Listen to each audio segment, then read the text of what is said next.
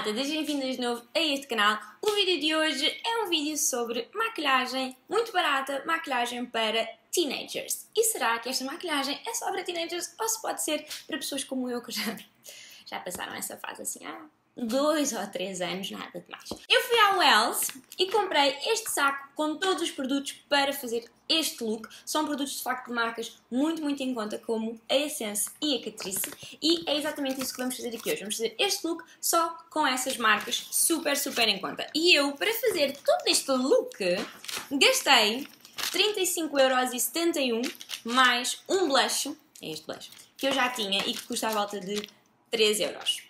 Portanto, no total, o look inteiro ficou por 38,71€, que é um preço incrível para primer, base, corretor, pó fixador, pó bronzeador, blush, eyeliner, máscara de pestanas, batom e fixador de maquilhagem. São muitos, muitos produtos por apenas 38 euros. Vamos descobrir se estes produtos são feitos apenas para teenagers, se os produtos valem a pena, se não valem a pena. Vou-vos dizer tudo o que achei deles e mais uma coisinha que nós vamos fazer hoje é que eu vou maquilhar, fazer este look com vocês e depois vou almoçar, vou sair, vou fazer a minha vida e vou regressar e mostrar-vos como é que a maquilhagem está e tudo aquilo que eu achei ao longo do dia sobre esta maquilhagem. Eu espero sinceramente que vocês gostem deste vídeo, por favor não se esqueçam de subscrevam este canal, façam like, por favor, vão-me ajudar imenso se fizerem like. E se quiserem saber como é que eu chego a este resultado e o que é que eu achei destes produtos, continuem a ver este vídeo. Vamos começar! Vamos começar por utilizar um primer. Este primer é da Essence e é o Fresh and Fit Awake Primer Healthy Glow Pore Minimizing Effect with Vitamin Complex and Cranberry Water. E este primer custou 4,49€. Ah, é um primer com alguma cor e eu acho que algum brilho também. Vamos ver. Hum, cheira tão bem, mas tão bem. Tem assim a consistência de um creme hidratante, para ser sincera. É mais esquisito num primer, mas ele bem. Cheira assim um bocadinho sticky. E diz que é um primer que vai um, suavizar e tornar a vossa pele mais, su suave, mas mais, é como se aplicasse um filtro, é uma espécie de um blur que aplica na vossa pele. Tem um efeito de wake up uh, e, portanto, tem alguma luminosidade para dar aquele ar de mais acordado. Vai tornar os vossos poros mais reduzidos, vai uniformizar o vosso tom de pele e tem para aqui as tais vitaminas e a cranberry water. Eu acho que isto é um bocadinho oleoso, ele não é oil free e para meninas com pele muito oleosa isto se calhar não será a melhor ideia. Vamos passar então para a base, é da mesma gama que o primer, é Fresh and Fit Awake Makeup Healthy Glow, exatamente com o mesmo complexo de vitaminas e com a cranberry water e o que eles nos dizem sobre esta base é que é uma base com uma textura que deixa respirar, com um efeito wake-up. Portanto, vamos esperar também alguma luminosidade e que vai tornar a pele uh, com um ar mais saudável, mais luminosa e que tem uma cobertura de médio a alta sem efeito de máscara. Eu comprei a cor 40, que é o Fresh Sun Beach, uh, mas mesmo assim estou com algum receio porque estas bases não costumam ser muito fáceis de encontrar a nossa cor. Este frasco é de vidro, tem um pump. Não adoro que seja de vidro, torna-se mais pesado. Uh, vamos ver. Acho que a cor não vai estar nada má, por acaso. Assim mais cremosa, mais, mais para o cremoso do que propriamente para o líquido. E eu vou espalhar assim pela cara. E agora vou com a Beauty Blender e vou esbater tudo isto e ver se precisamos de acrescentar mais algum, uh, mais alguma camada para que a cobertura fique como eu quero. Esta base custou 6,29€.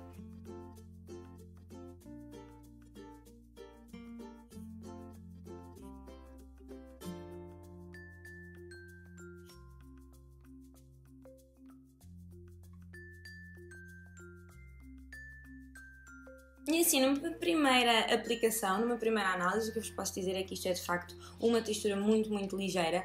Um, a pele fica de facto uniforme e não tem de todo aquele efeito de máscara. Para o dia a dia, é sem dúvida um acabamento que eu gosto muito, que é assim um, um ar muito saudável, um rosto muito uniforme, mas sem ter um aspecto de, de base. É mais ou menos o acabamento de um BB Cream, mas uh, se estiverem à procura de mais cobertura, se calhar não conseguem uh, fazê-lo com esta base, com apenas uma aplicação. Eu vou aplicar um bocadinho mais só para ver como é que ela resulta se nós quisermos construir um bocadinho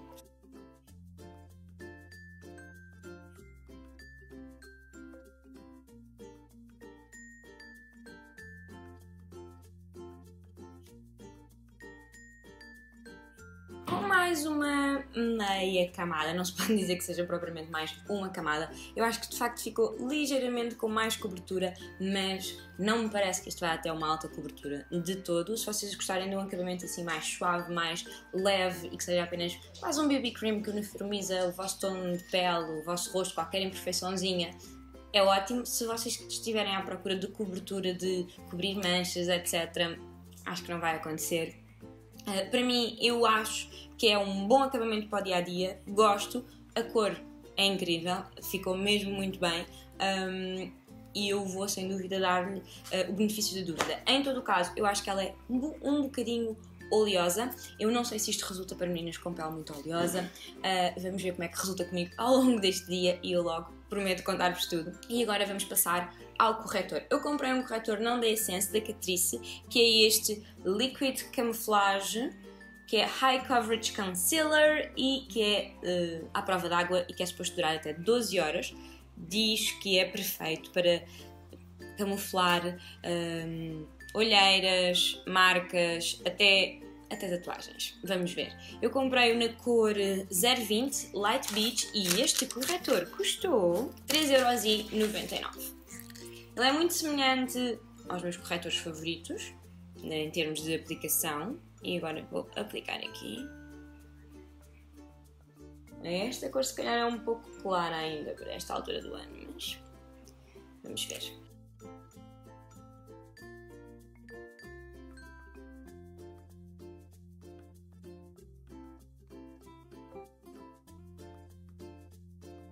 É assim, há uma razão para este corretor custar 3,99€ e o meu amor da NARS custar 30€. Há uma razão. Uh, eu não posso dizer que seja mau, mas a cobertura dele não é, uh, não é equivalente ao meu da NARS, eu vou pôr um bocadinho mais, e a luminosidade também não é a mesma, portanto ele cobre, uh, não com a mesma cobertura que o da NARS, com que o da NARS cobre, e a luminosidade deixa um bocadinho a desejar. O da NARS dá-vos logo um ar assim um bocadinho mais acordado, saudável, e este não muito embora para 3,99€ eu acho que não seja nada mal. Mas eu acho que é assim. Quem experimenta Radiant Creamy Concealer da NARS dificilmente estar a gostar muito de algum outro corretor. Uh, se não for, principalmente um corretor assim mais uh, em conta, de corretores de supermercado, à exceção daquele da NYX, um, o HD Photogenic da NYX, que eu acho que é incrível, um, mas acho que fora isso é um bocadinho difícil voltar a adorar qualquer outro corretor, porque o corretor da NARS é de facto incrível. Mas pronto, foi assim que ficou, também não é horrível. E agora vamos fixar. Vocês sabem que eu não vivo sem fixar a zona abaixo dos olhos e portanto eu comprei este Brighten Up Banana Powder da Essence e que custou 3,79€ e eu vou com a Beauty Blender fixar a zona abaixo dos olhos e também assim na zona T.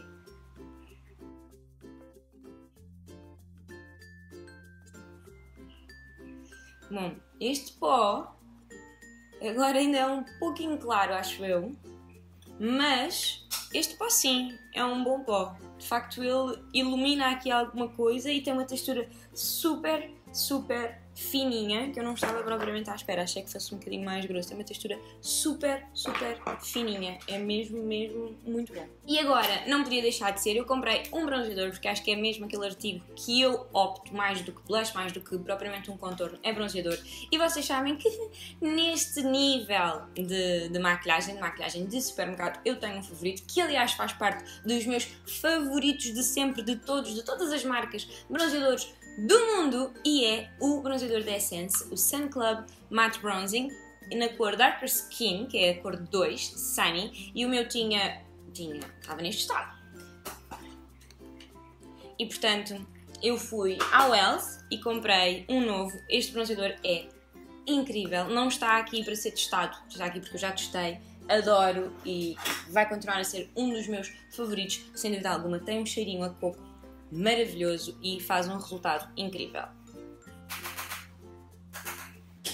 A única coisa que eu acho que ele faz relativamente a bronzeadores uh, mais caros é faz um bocadinho de pó. Mas de resto ele é incrível.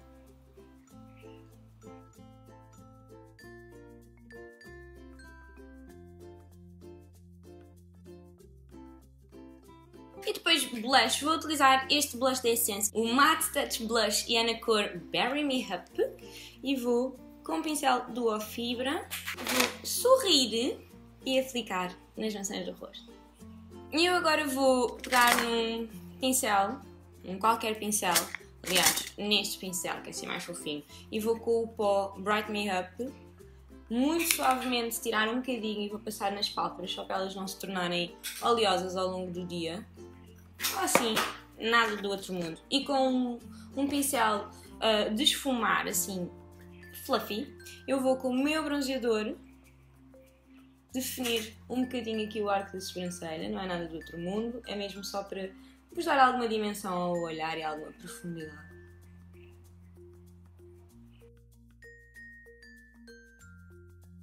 E agora, eu comprei esta caneta de eyeliner da Essence. Eu não sei se vos disse quanto é que custou o bronzeador. O bronzeador custou 4,49€ e este blush eu já tinha e ele custa à volta de 2,99€, 3,39€, qualquer coisa do género. Um, e este eyeliner custou 2,99€. É um eyeliner em feltro, tipo da Kat Von D. Mas pronto bastante preto. E vou fazer uma linha muito fininha ao longo das minhas pestanas.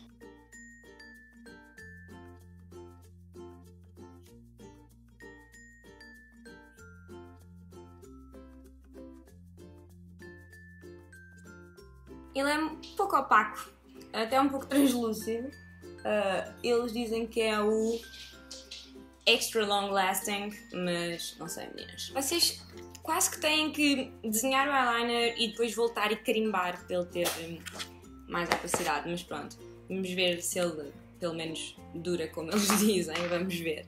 Um, e agora com pincel, lápis e um bocadinho também do meu pó bronzeador, eu vou passar ao longo das pestanas inferiores, aqui nesta zona. Já não comprei nenhum fixador porque não havia assim uma cor que eu achasse que fazia sentido e eles não tinham em transparente, portanto vou apenas pentear as minhas sobrancelhas e vou utilizar o meu 24 Hours Brow Setter da Benefit, porque de facto eu não consegui comprar um equivalente e vou só fixá-las para certeza que elas não vão a lado nenhum durante todo o dia. Vamos aplicar máscara de pestanas. Eu comprei esta também da Essence, que é hashtag Lashes of the Day e que é Super Volume Mascara e que é suposto ser super preta e que custou 2,99€ também. Espero que seja melhor que o eyeliner. Ela tem esta escova que não me desagradou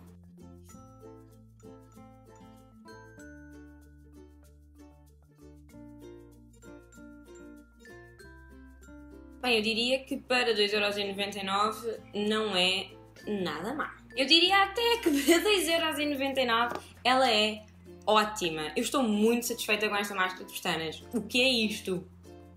O eyeliner é. Não mesmo, a sério, é muito transparente. Vocês têm que andar a carimbar. Não, não vale muito a pena. Mas esta máscara de pestanas Sim, senhor. E agora eu vou aplicar batom. Eu comprei este batom também da Essence e que é o Ultra Last Instant Color na cor 07, que é um nude, porque eu achei que isto ia ser maquilhagem para o dia a dia e que seria a melhor cor para o dia a dia. Portanto, eu vou aplicar. Ele é cremoso, não é mate, embora não seja, não tenha muito brilho, é assim um acetinado.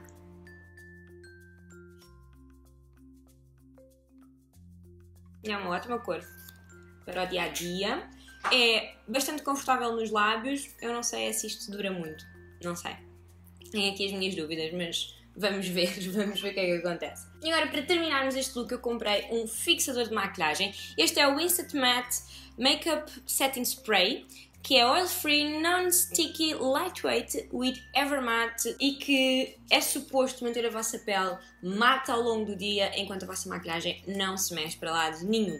E eu vou experimentar utilizar isto. Eu achei que, que fazia algum sentido para mim, para a minha pele e principalmente porque acho que esta base um, e este primer talvez não sejam os mais adequados agora que o experimentei, porque são um bocadinho gordurosos. Ainda assim, não são poço de óleo. E para meninas com a pele normal até a mais seca será uma ótima opção. Meninas com a pele muito oleosa eu acho que não, não vai ser bom. E pronto, este um, setting spray custou 3,79€ e nós vamos pulverizá-lo pela cara toda. Agora vocês já sabem que eu adoro passar a minha Beauty Blender todo lado, acho que devolve um ar mais natural à pele. O resultado final é este. É esta maquilhagem suave e natural, maquilhagem ótima para o dia a dia, feita com estes produtos que são uh, produtos de supermercado, maquilhagem de supermercado, mas que são produtos que estão normalmente direcionados a um público-alvo muito jovem, principalmente a teenagers, e que têm preços muito, muito acessíveis, ainda mais acessíveis que a Maybelline, que a L'Oreal, que a Rimmel, etc. E que dentro destes produtos, como é minha experiência, há produtos ótimos, a preços incríveis e que não são apenas para as teenagers. Eu espero sinceramente que vocês tenham gostado deste vídeo. Eu vou agora almoçar com os amigos, vou às compras, tenho uma data de coisas para fazer ainda o dia todo um, e vou estar atenta a como é que isto resulta, como é que isto corre ao longo do dia e quando o dia terminar eu volto aqui para vos contar exatamente o que é que aconteceu e como é que está a minha maquilhagem para que vocês possam saber exatamente o que é que podem contar destes produtos uh, com base na minha experiência e na minha pele, não é? E nós vemos daqui a umas horas. Olá, voltei. São mais ou menos 10 da noite. Uh, almocei, estive a tarde toda com uns amigos, fui às compras, fui ao supermercado, voltei para casa, estive a arrumar porque era absolutamente crucial na minha vida. Um, estive a fazer algumas alterações. Uh, no fundo, diria mesmo arrumações e não propriamente alterações. E, e agora são 10 da noite, mais coisa menos coisa, e queria falar convosco e mostrar-vos o resultado desta maquilhagem mega barata e se durou ou não o dia todo. Eu posso vos dizer, em primeiro lugar, que tanto o primer como a base são um bocadinho oleosos e não vão resultar de todo em meninas com a pele oleosa. Poderão resultar em, muito bem em meninas que têm uma pele normal ou seca. Eu tive que recorrer algumas vezes ao meu Blue Tarazi para ir absorvendo alguma da oleosidade, principalmente da minha zona T. Eu não tenho propriamente a pele muito oleosa, tenho uma pele mista, mas principalmente agora que ainda está calor, hum, uma base assim deste género não resulta tão bem em mim quanto isso.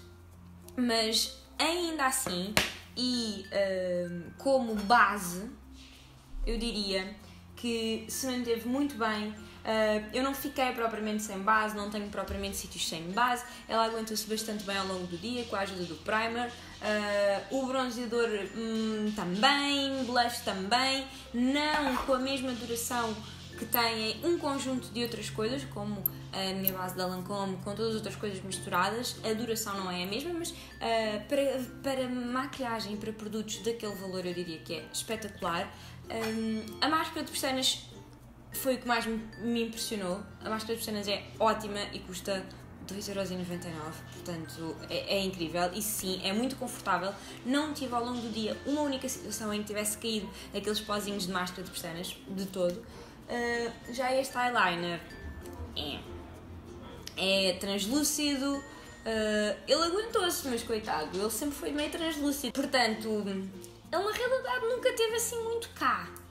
Essa é a questão. O corretor de olheiras, e embora eu não tenha gostado muito, uh, ou melhor, embora eu tenha achado que ele não era propriamente de uma grande cobertura, como o meu da NARS, nem de uma grande luminosidade, misturado com o pó até correu muito bem e se querem que vos diga, é assim, zero crease, completamente. Não há qualquer linha fina marcada de toda, aguentou-se lindamente, a pele está super lisinha.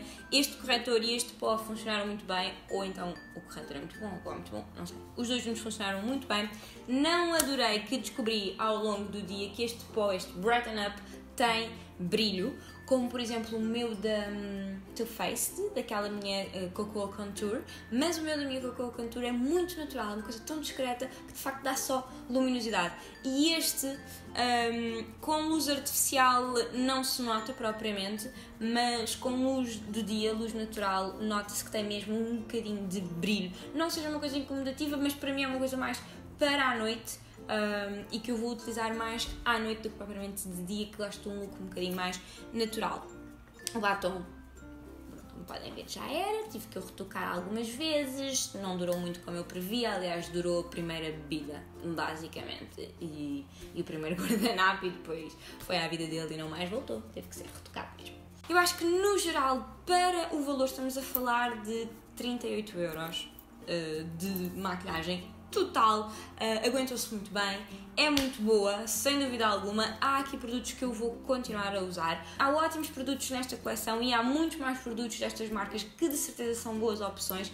Não é só de facto uma maquilhagem para adolescentes, embora seja muito direcionada para elas, pelas embalagens, pelos preços, etc.